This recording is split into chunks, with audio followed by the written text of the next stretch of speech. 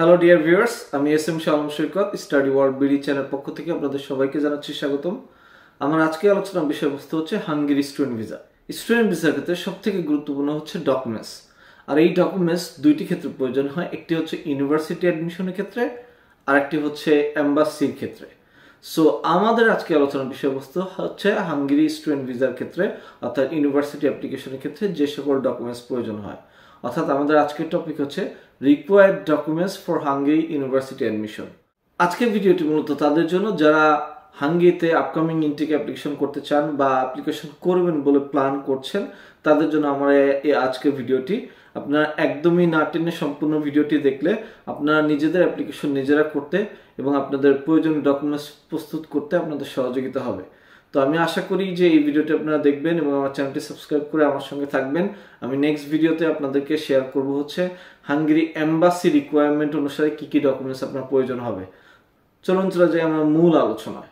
Hungary university অ্যাডমিশনের ক্ষেত্রে যে সকল ডকুমেন্টসগুলো প্রয়োজন হয়, সেগুলো আমরা দুটি ভাগে ভাগ করেছি। একটি হচ্ছে যারা এইচএসসি মানে আমাদের দেশের প্রেক্ষাপটে হায়ার সেকেন্ডারি লেভেল শেষ করেছেন ব্যাচেলার জন্য অ্যাপ্লাই করবেন। আচ্ছা ব্যাচেলার প্রোগ্রামের জন্য যে সকল ডকুমেন্টস প্রয়োজন হয়, আর সেকেন্ড স্টেপে শেয়ার করব হচ্ছে, যারা ব্যাচেলার শেষ করেছেন মাস্টার্সে যেতে চান, তাদের জন্য কি কি ডকুমেন্টস প্রয়োজন হয়? আসলে ব্যাচেলর এবং মাস্টার্সের মধ্যে অনলি দুইটা ডকুমেন্টসের মধ্যে পার্থক্য রয়েছে। প্রথমে যেটি শেয়ার করব, সেটা হচ্ছে ব্যাচেলরে যারা অ্যাপ্লাই করবেন, তাদের কি কি ডকুমেন্টসের প্রয়োজন হবে? প্রথমতেই যেটি প্রয়োজন হয়, সেটি কমনলি সবার জন্যই, সেটি হচ্ছে পাসপোর্ট আপনার একটি ভ্যালিড পাসপোর্ট থাকতে হবে এবং যেটির মেয়াদ থাকতে হবে মিনিমাম টু ইয়ার্স এর রিজন হচ্ছে আপনার পাসপোর্টটি যাতে আপনি যখন অ্যাম্বাসি ফেস করছেন তখন থেকে যাতে মিনিমাম এক বছরের মেয়াদ থাকে। আর একটা রিজন হচ্ছে আপনার পাসপোর্টটি যাতে লাস্ট টেন ইয়ার্সের মধ্যে এটি ইস্যু করা হয়।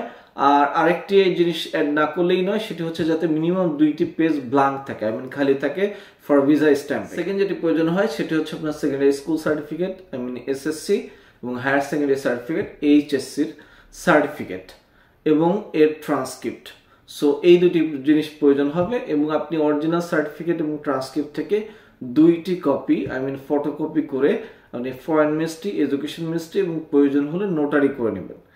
আর সেক্ষেত্রে আপনি যদি আপনার ইউনিভার্সিটি আপনার ডকুমেন্টস পাঠাইতে বলে, তাহলে আপনি অ্যাকসেপ্ট ডিএইচএল এর মাধ্যমে ইউনিভার্সিটি অ্যাড্রেসে পাঠাইতে পারেন ফোর্থ হচ্ছে কারিকুলাম ভিডা বা সিবি এটা একটি ইউরোপাস সিবি রেডি করে রাখবেন। অর্থাৎ আপনার এটা একাডেমিক সিবি হবে। এটা আপনার কিন্তু জব অ্যাপ্লিকেশন সিবি না। একাডেমিক সিবিটা একটু ভিন্ন হয়। তো সেক্ষেত্রে অবশ্যই আপনি একটি ইউরোপাস সিবি করবেন, আপনার প্রিভিয়াস একাডেমিক ব্যাকগ্রাউন্ড দিয়ে এবং আপনার এক্সট্রা কারিকুলার অ্যাক্টিভিটিস ওর মধ্যে অ্যাড করার চেষ্টা করবেন। ফিফথ এটি one of the most important সেটি হচ্ছে মোটিভেশন লেটার একটি একাডেমিক মোটিভেশন লেটার লেখার স্কিল আলাদা থাকে, আপনার যদি ইংলিশে বেসিক ভালো থাকে, এবং আপনি আপনার ইউনিভার্সিটির একাডেমিক গাইডলাইন অর্থাৎ মোটিভেশন লেখার যে গাইডলাইন থাকে সেই গাইডলাইন বা আউটলাইনটা আপনি ফলো করবেন, না হলে আপনার মোটিভেশন লেটারটা অ্যাকসেপ্টেড হবে না। আরেকটি যেটা করবেন না, সেটা হচ্ছে কারোর কাছ থেকে কপি পেস্ট করবেন না, কারণ এখানে প্লাগরিজম অর্থাৎ আপনার যে আপনি কারোর কাছে কপি পেস্ট করলে এটা কিন্তু তারা সফটওয়্যার মাধ্যমে চেক করে আর চেক করলে আপনারটা যদি প্লাগরিজম বেশি হয়, সেক্ষেত্রে এটা অ্যাকসেপ্ট করবে না। সো মোটিভেশন লেটার লেখার ক্ষেত্রে আপনারা অবশ্যই সচেতন থাকবেন। সিক্সথ হচ্ছে English test certificate very crucial but হাঙ্গেরির ক্ষেত্রে আপনারা শুনে খুশি হবেন যে হাঙ্গেরির ক্ষেত্রে আইএস এর প্রয়োজন হয় না। মোস্ট অফ দ্য ইউনিভার্সিটিতে আপনার M O Y which stands for media of instruction letter যেটা আপনার ইউনিভার্সিটি আপনাকে প্রোভাইড করে থাকতে পারে।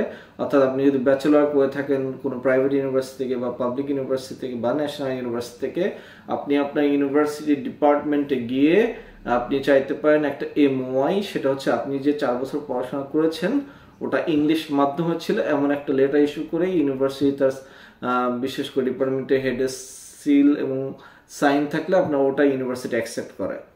আর এছাড়াও যারা আইএস নাই তাদেরকে স্কাইপি ইন্টারভিউর মাধ্যমে বা ইউনিভার্সিটিগুলো অ্যাকসেপ্ট করে থাকে।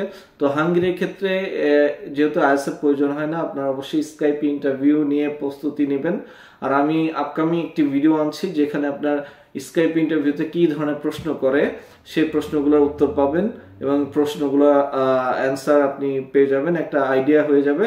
তো আপনারা অবশ্যই চ্যানেলটি সাবস্ক্রাইব করবেন এই ভিডিওগুলো পাওয়ার সেভেন্থ হচ্ছে মেডিকেল সার্টিফিকেট অর্থাৎ মেডিকেল সার্টিফিকেটে হাঙ্গেরি ইউনিভার্সিটিগুলো চেয়ে থাকে যে আপনার কোনো টিউবারকুলোসিস বা কোনো ভাইরাস জনিত যে অসুখ আছে কিনা, এটার জন্য একটা মেডিকেল সার্টিফিকেট আপনি যে কোনো বাংলাদেশি যে হসপিটাল আছে হসপিটালের কোনো স্পেশালিস্ট ডাক্তার থেকে আপনার এই ধরনের কোনো রোগ নেই এমন একটা সার্টিফিকেট নিয়ে নিতে পারেন। এইট হচ্ছে completed application form with passport size picture অর্থাৎ আপনি একটা ইউনিভার্সিটি অ্যাপ্লিকেশন ফর্ম ফিল করতে হবে এবং সেখানে আপনার পিকচার আপলোড করতে হবে এবং অ্যাপ্লিকেশন ফর্মটা যেন অবশ্যই কারেক্টলি ফিল আপ করা হয় সেদিকে লক্ষ্য last but not the least the payment receipt of the application fee আপনাকে প্রত্যেকটা ইউনিভার্সিটি একটা অ্যাপ্লিকেশন ফি থাকে, সেটা পঞ্চাশ ইউরো হইতে পারে, একশো ইউরো হইতে পারে।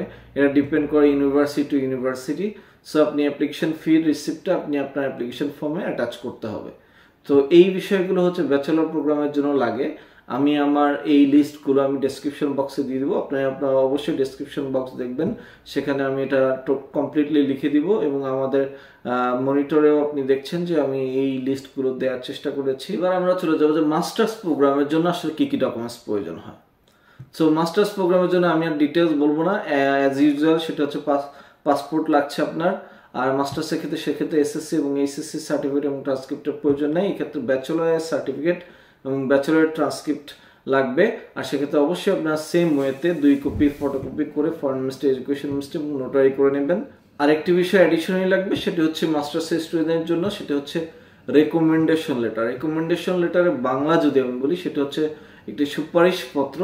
এটা বেসিক্যালি অফার করে থাকে হচ্ছে আপনার, এটা প্রোভাইড করে থাকে হচ্ছে আপনার ইউনিভার্সিটির অ্যাসিস্ট্যান্ট প্রফেসর বা প্রফেসর লেভেলে কেউ, সে আপনাকে একটা লেটার ইস্যু করবে, যেটাকে বলা হয় রেকমেন্ডেশন লেটার এখানে লেখা থাকবে যে, সে, আমার তত্ত্বাবধানে ব্যাচেলারে এই এই প্রোগ্রামে কোর্স করেছে সো আমি তার সম্পর্কে জানি এবং সে যাতে ফিউচারে আরও পড়াশোনা করে ভালো ক্যারিয়ার করতে পারে, এমন একটি লেটার ইউনিভার্সিটি অ্যাসিস্ট্যান্ট প্রফেসর বা প্রফেসর থেকে কালেক্ট করে নিতে পারেন, যেটাকে বলা হয় ইংলিশে রেকমেন্ডেশন লেটার এমন একটি বা দুইটি লেটার রাখবেন যেটা মাস্টার্স প্রোগ্রামে অ্যাপ্লিকেশনের জন্য প্রয়োজন হয়।